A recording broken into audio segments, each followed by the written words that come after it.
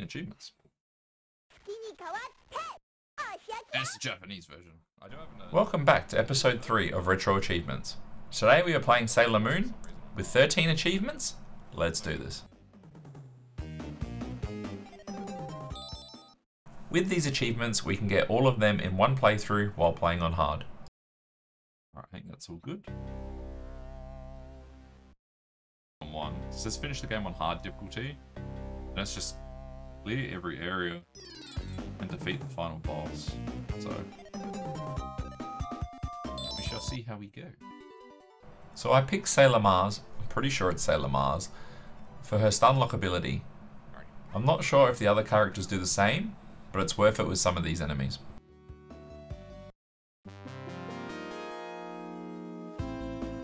I am not good at fighting games, so this is going to be very interesting. So when playing on hard, you'll unlock a different kind of ending if you beat the bonus boss. And to get the true final boss, you must play on hard. So I'll give you a rundown of the story, since all the achievements besides two are just clear area stages.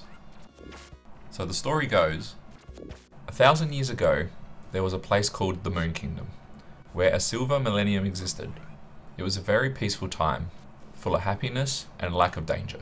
The Moon Kingdom was under the rule of Queen Serenity. Queen Serenity had a daughter named Princess Serenity. One day the princess met a prince from Earth, named Endymion, and the two fell in love. They were soon to marry, but suddenly there was a massive attack on the Moon Kingdom by the evil queen named Beryl. The peace was utterly shattered by Beryl and her minions, and the Moon Kingdom was forever destroyed. Queen Serenity had managed to defeat Queen Beryl and her troops by using the full extent of the Genshui.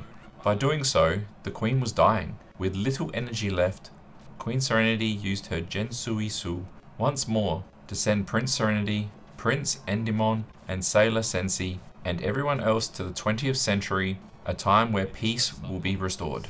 But with Queen Beryl and her minions still alive, the Sailor Senshis are called forth by guardian cats named Luna and Artemis, and it's up to them to defend Earth from evil doers. So there's the game story. We achieve I Am Sailor Moon by clearing 1-1, and now we ride the elevator to the top to fight our first boss.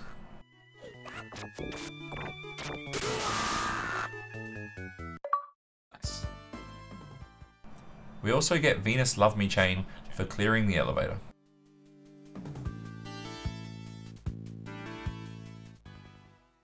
So Supergoon is a very easy boss. Supergoon has three moves, a punch attack, a rushing punch, and a smoke attack. Once defeated, we'll get our next achievement, Moon Prism Power.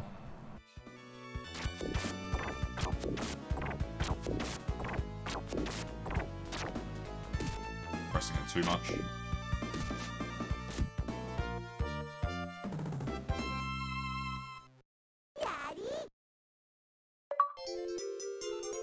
Prism Power.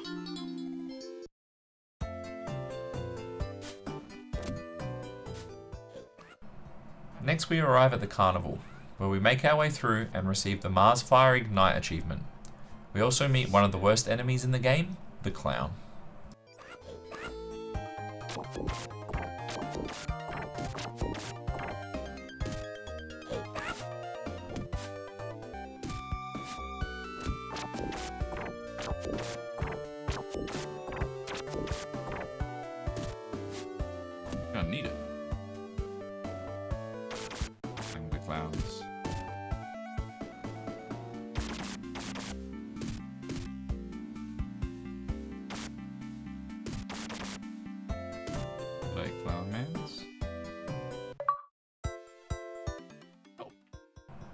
Then we enter a building with giant sized suites and more enemies to battle through to the boss. Also, we've picked up the fan, and this fan slaps.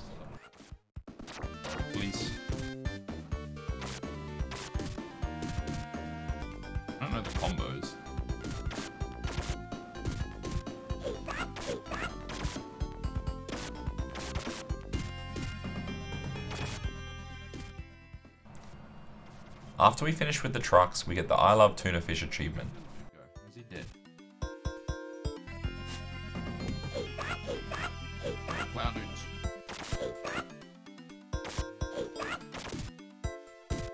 Oh my god, the clown dudes are the worst.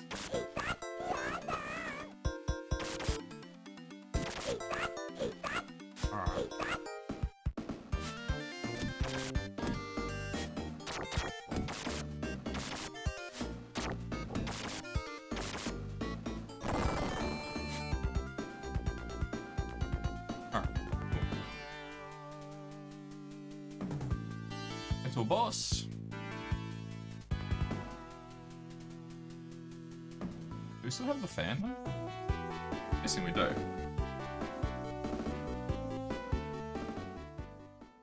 Here we meet Jadeite. Jadeite's attacks are kicks, jump kicks, and torpedo style tackle.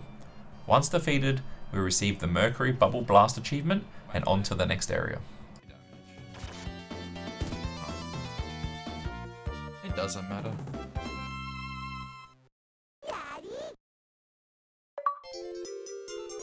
Mercury Bubble Blast.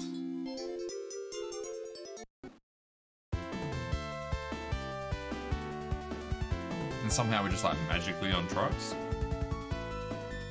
What are we doing on here? Next we ride on two moving trucks heading to our next destination. It's kinda tricky when the enemies can go from in front of you to off screen and then behind you.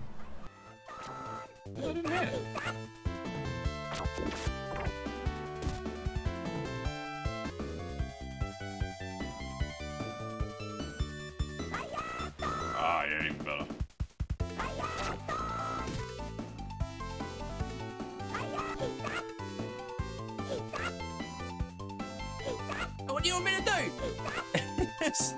what do you want me to do? He stun locks me. And those pesky clowns are back.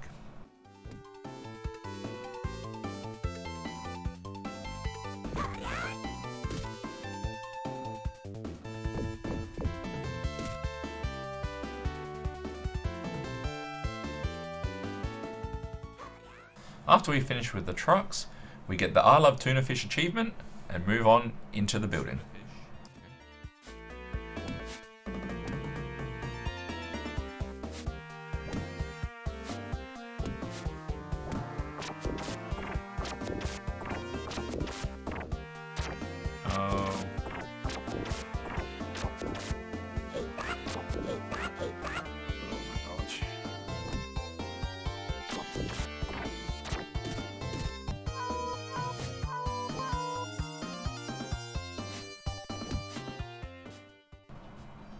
We make our way through to the boss, Nephrite.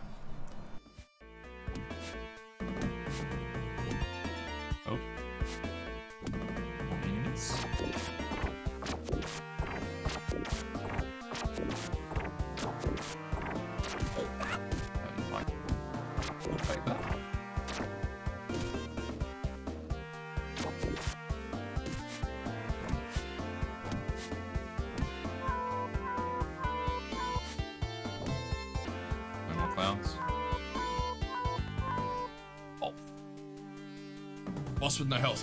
That's awesome.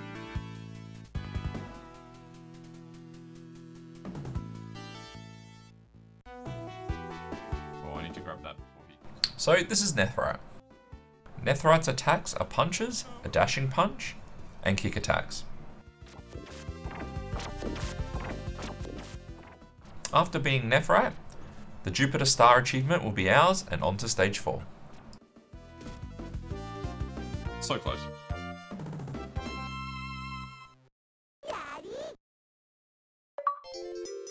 Jupiter Star. A. So in stage 4, I lost my final life about three quarters of the way through the stage, so we had to restart the stage all again. But since we have 7 continues, it's no big deal.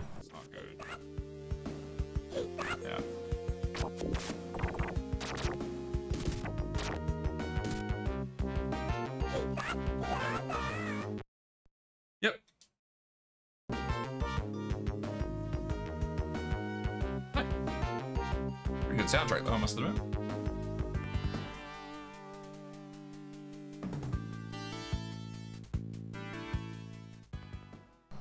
Once at the top of the stage, we meet Zoisite, and he turns into a fake Sailor Moon.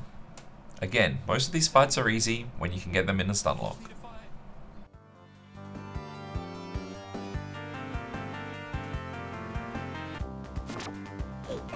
Wait, why are you Sailor Moon?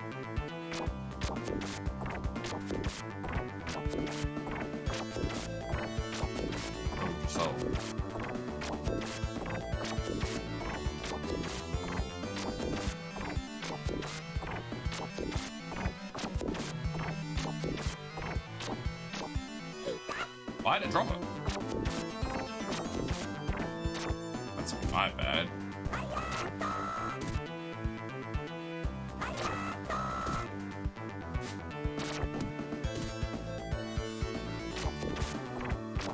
A. No.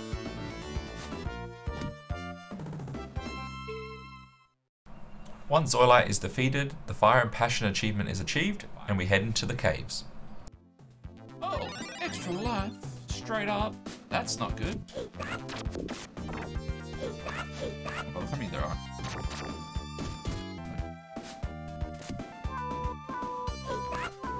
Don't need that yet. Throughout this stage, they like to throw many enemies at you. Do your best you can to defeat them and get to the next area.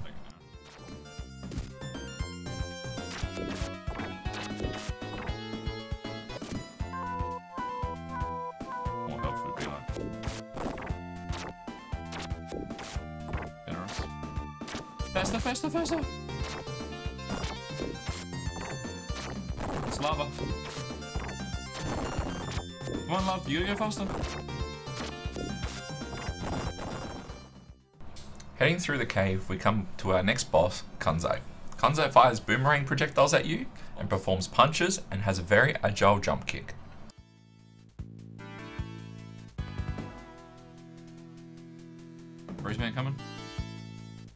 Use some more health.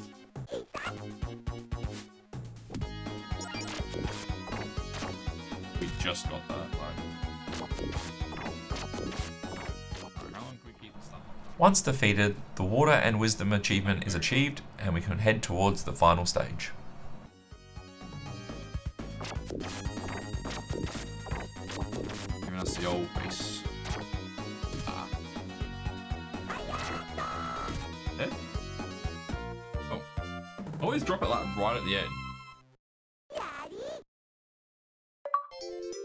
Oh, Water and Wisdom. Mr. Broody? So we enter the final stage where we'll be getting our last four achievements. Sailor V, Flower Hurricane, Sailor Senshi, and Queen Metalia.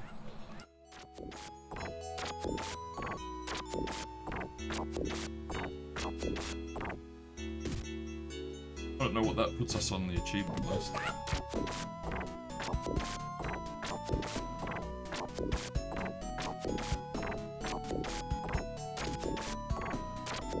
that water?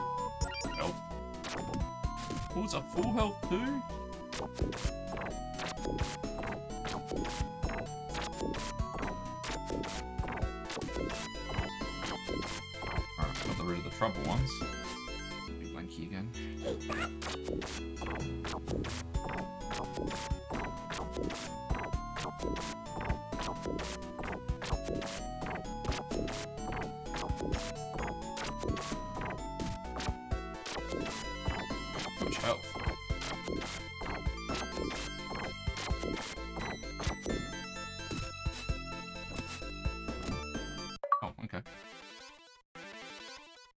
Sailor V.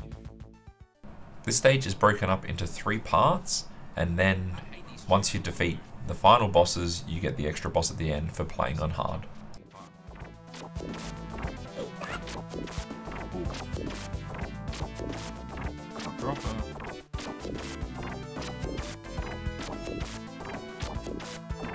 Oh, that put me off. That guy just flying off just put me off so bad. Though. Extra life. Oh.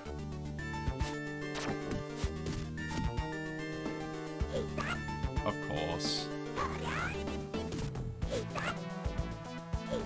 No.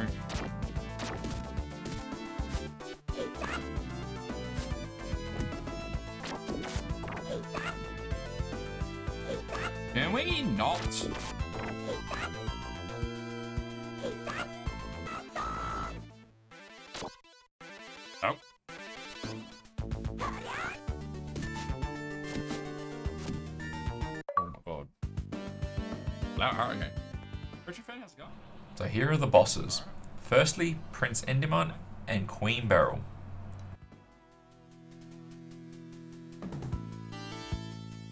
A big sword, my friend. The prince has been brainwashed and is really no threat in this fight. The hardest of the two is Queen Beryl. I got super lucky to get the stun lock right away because she has a lightning attack that lasts forever and follows you around the screen. And it's very hard to get damage while she has the lightning going.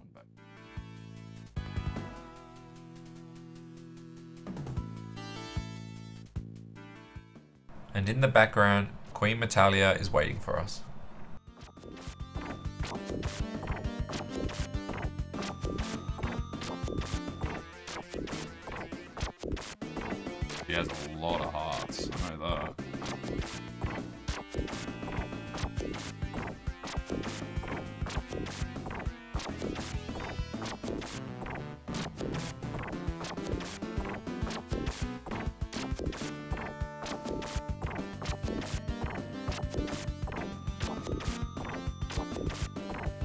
No match for our stunning ability though. Take that!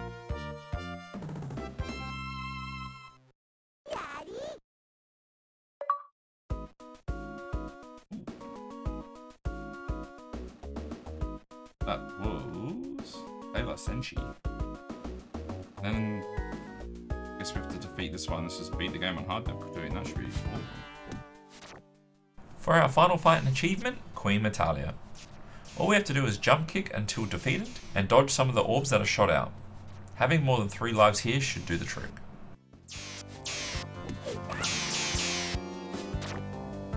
Well, I'm glad we got a lot of lives because these orbs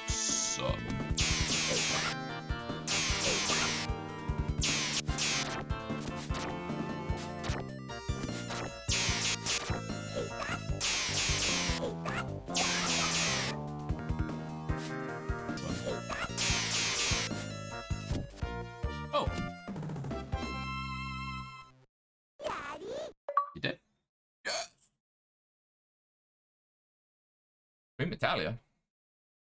Well, there we go. 53 minutes. All achievements. That was a quick one. That was pretty straightforward, that one. That was just a run through, pretty much, from start to finish. So that's all 13 achievements for Sailor Moon. If you haven't checked out my other episodes, go do so.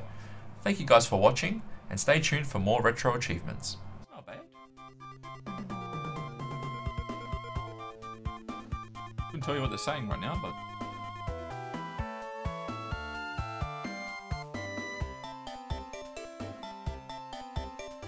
bad little game.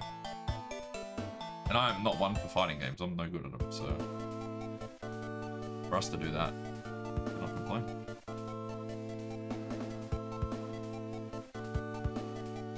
But all achievements oh, done.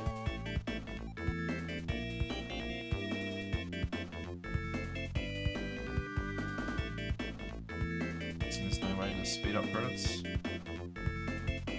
Alright, I'm gonna get something to drink. We'll be back and we'll um, do another game. Another one on board, a very easy one, so knock out two for tonight. Probably call it there, but um, yeah, we'll, uh, we'll get a drink, I'll be back.